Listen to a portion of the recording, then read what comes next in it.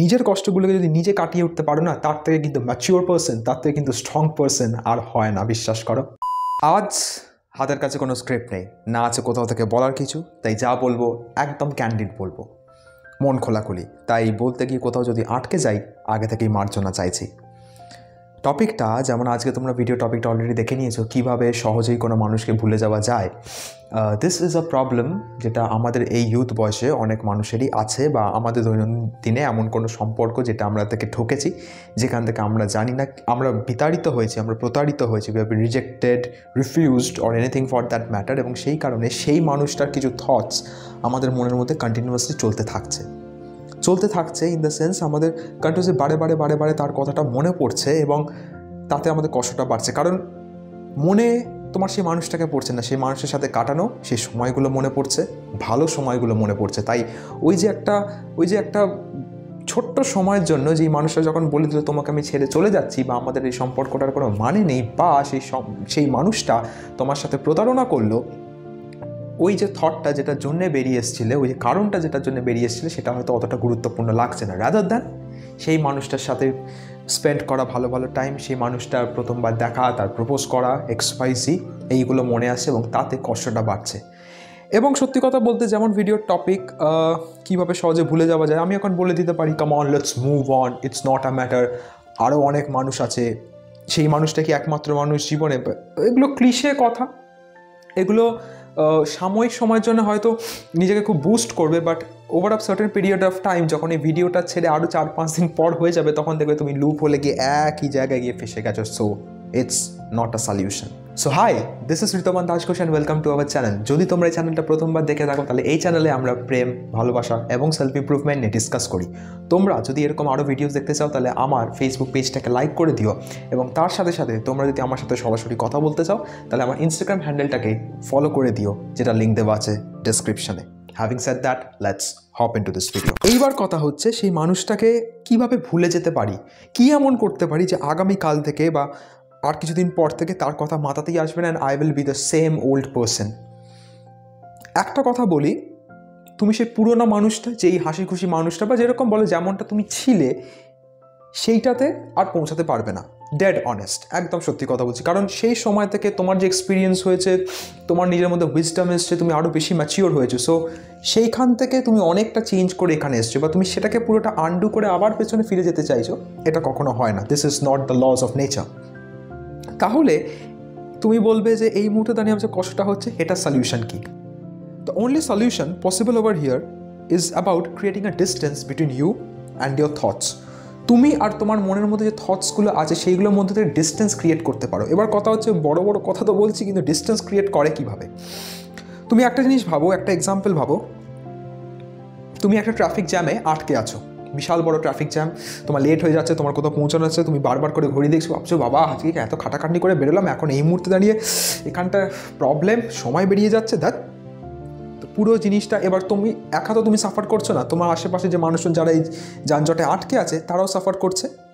Think of the same point of time ওই সিনারিওটা তুমি প্লেন থেকে দেখছ, তুমি হয়তো প্লেনে আছো এবং ওপর থেকে তুমি নিচের দিকে দেখছ, এই অতগুলো গাড়ি ওরকম লেনের ওপরে পরপর দাঁড়িয়ে আছে, মনে হবে না কি সুন্দর লাগছে দেখতে। বা যদি ভাবো যে ড্রোন শট যেগুলো নেওয়া হয় সিনেম্যাটিক্যালি ওপর থেকে পুরো জিনিসটাকে দেখানো হচ্ছে, কি সিরিন লাগে না বিউটিফুল লাগে না দেখতে? মনে না, বাহ, কি সুন্দর। কিন্তু আস্তে আস্তে যখন তুমি জুম ইন করবে, তুমি গিয়ে দেখবে সেই একই নোংরা, সেই একই যানজট, সেই একই মানুষের মধ্যে গালিগালাজ, খারাপ কথাবার্তা, এইগুলো কিন্তু ক্রমশ চলে থাকছে। সো যখন তুমি একটা ডিপ ডাইভ করছ, তুমি কিন্তু থটসের মধ্যে ফাঁসছো। সেখানে জিনিসটা আরও বেশি স্টিঙ্গি হয়ে যাচ্ছে, সেইখানে জিনিসটা আরও বেশি নোংরা হয়ে যাচ্ছে।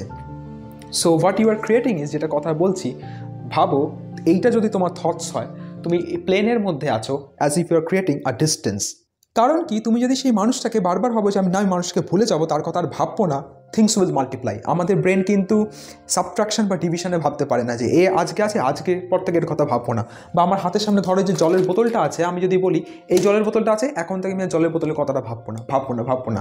একটা মাত্র কথা যেটা আমি বারবার মনে করব, সেটা কিন্তু এই জলের বোতলটা so human brain his is uncontrollable like that. So, never ever try to defend yourself, never ever try to try to restrict yourself from that thought, কারণ সেই থটটা তাহলে আরও বারে বারে করে আসবে। So creating a distance is important এবার কথা হচ্ছে ডিস্টেন্স কীভাবে ক্রিয়েট করে?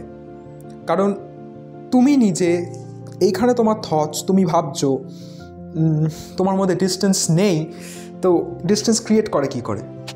ফার্স্ট অ্যান্ড ফরমোস্ট খুব ক্লিশে শুনতে লাগল মেডিটেশন মেডিটেশন এরকম অনেক প্রসেস আছে যেখান দিয়ে through you can create a distance to know self within কিন্তু সত্যি কথা বলতে, এক্ষুনি আমি মেডিটেশনের কথা বলে তখন মেডিটেশন করতে নামাটা you know it's boring as well আর আজকালকার আমাদের দিনের জেনারেশন সেটা অতটা we don't think of this as much of a solution so what you can actually do basically I would say take a diary and write down your thoughts ঠিক যেই মুহূর্তে যেমনটা যেমনটা মনে আসছে, একটা সিক্রেট ডায়েরি নাও নিজের যেটা গোপনে রাখতে পারবে, কারণ সবার সাথে নিজের ইমোশনসগুলোকে শেয়ার করে ফেলা তো মুশকিল। সেইখানে নিজের থটসগুলো ঠিক যেমনটা মনে হচ্ছে, আমার যদি এখন কষ্ট হয়, তাহলে আমার এখন কষ্ট হচ্ছে। কেন কষ্ট হচ্ছে? সেই মানুষটার জন্য কষ্ট হচ্ছে। সেই মানুষটার জন্য কষ্ট হচ্ছে? না, সেই মানুষটার সঙ্গে কাটানো সেই সময়গুলোর জন্য কষ্ট হচ্ছে। তার সাথে যে সময়গুলো স্পেন্ড করেছি, তার সাথে যে ভালো মুহূর্তগুলো গেছে, সে আমাকে প্রপোজ করেছে এক্স ওয়াইজি যেই যেইগুলো জিনিসগুলো ছিল।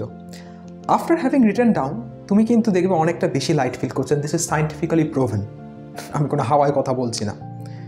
And then when you read it যখন তুমি এবার নিজের থটসগুলোকে পড়ছো, তোমার থটস সেখানে ছিল থটসগুলো এখন তোমার ডায়েরিতে ডায়েরি থেকে তোমার মধ্যে এখন কিন্তু ডিস্টেন্স ক্রিয়েট হচ্ছে। Now when you read the thoughts তুমি দেখবে অনেক বেশি বেটার ফিল করছ। ট্রাস্ট মি তাই এবার যে তুমি আর তোমার এই থটসগুলোর মধ্যে ডিস্টেন্সটা ক্রিয়েট করতে পারলে, তুমি এবার গিয়ে দেখবে যে ইটস ওকে আমার যে কষ্টটা হচ্ছিল সেটা ঠিক, কিন্তু তার থেকে অনেক অনেক অনেক অনেক ভাগ কষ্টটা এখন কম হচ্ছে কারণ আমি সেই ডিস্টেন্সটাকে ক্রিয়েট করতে পেরেছি। কারণ দ্য রিজন বিং এবং সত্যি কথা বলতে এটা কি কোনো পারমানেন্ট সলিউশন যে আমি একবার লিখলাম আর তারপর থেকে আর আসবে না? না। পরবর্তীকালে হয়তো একটু কিছুক্ষণ ভালো লাগবে, দু, তিন দিন পর আবার হয়তো মনে আসবে। Do the same practice again and again যেই কথাগুলো মনে হচ্ছে, যদি একই কথা হয়, একই কথাগুলোকেই লেখো। দেখো কেমন লাগছে। এবং পুরোনো দিনের লেখাগুলো পড়ো যে কীভাবে তোমার থটসগুলো লিখেছিল। তোমার গতকালের লেখার আজকের লেখার মধ্যে কিন্তু অনেক ডিফারেন্স থাকবে। One thing is for sure you are maturing enough নিজের কষ্টগুলোকে যদি নিজে কাটিয়ে উঠতে পারো না, তার থেকে কিন্তু ম্যাচিওর পার্সন তার থেকে কিন্তু স্ট্রং পার্সন আর হয় না, বিশ্বাস করো। So do it it will take time and always understand যেটা হয়েছে ঠিক আছে, ভালো হয়নি আমার সাথে অফকোর্স সেটা আমার কখনো ভালো লাগছে না but it's all right you know what life is all about experience আর সময়ের সাথে সাথে, সময়ের সাথে সাথে জিনিসটা ঠিক হয়ে যাবে। খালি এই সলিউশনটা দেওয়ার ছিল যে এই মুহূর্তে দাঁড়িয়ে তোমার যে তীব্রতাটা হচ্ছে, সেটা কীভাবে কমানো যেতে পারে? And then you will understand you are a much more stronger brighter mature and a wiseful person আশা করছি তোমার মানসিক অবস্থা থাকুক ভালো। সো এই ছিল আজকের ভিডিওটা। একটু অন্যরকম, কোনো লাভ টিপস ছিল না। যে মানুষগুলো, যে কোর, যে কষ্টগুলো যেগুলো হয়, সেগুলো থেকে কীভাবে আস্তে আস্তে আস্তে আস্তে বেরোনো যেতে পারে বা আরও তার থেকে বেশি ডেভেলপ হওয়া যেতে পারে আমি বলব। সেইটার জন্য ছিল আজকের ভিডিও শেয়ার করে দিও তোমার সেই বন্ধুদের সাথে যদি এমন কাউকে চেনো, যারা এমন কষ্ট এই মুহূর্তে দাঁড়িয়ে এক্সপিরিয়েন্স করছে। আশা করছি তারাও ভালো থাকবে। তোমরা তোমাদের কথাগুলো আমার কমেন্ট সেকশনে জানিও। আমি পড়ব, তোমাদের রিপ্লাই দেবো। So this is Ritaman Das Ghosh signing off for today and I will see you in the next one ততদিন ভালোবাসতে থাকো, কারণ ভালোবাসার থেকে ভালো আর কি হতে পারে? নমস্কার। আর তোমরা যদি তার সাথে সাথে এইটা জানতে চাও যে কেউ সম্পর্কে ঠকালে কোন এমন তিনটে স্টেপ তোমার নেওয়া উচিত, সেই মুহূর্তে দাঁড়িয়ে তার জন্য দেখো উপরের ভিডিওটা। আর যদি এটা জানতে চাও যে একটা ব্রেকআপের পর কাদের বেশি কষ্ট হয়, ছেলেদের নাকি মেয়েদের, তার জন্য দেখো নিচের ভিডিওটা।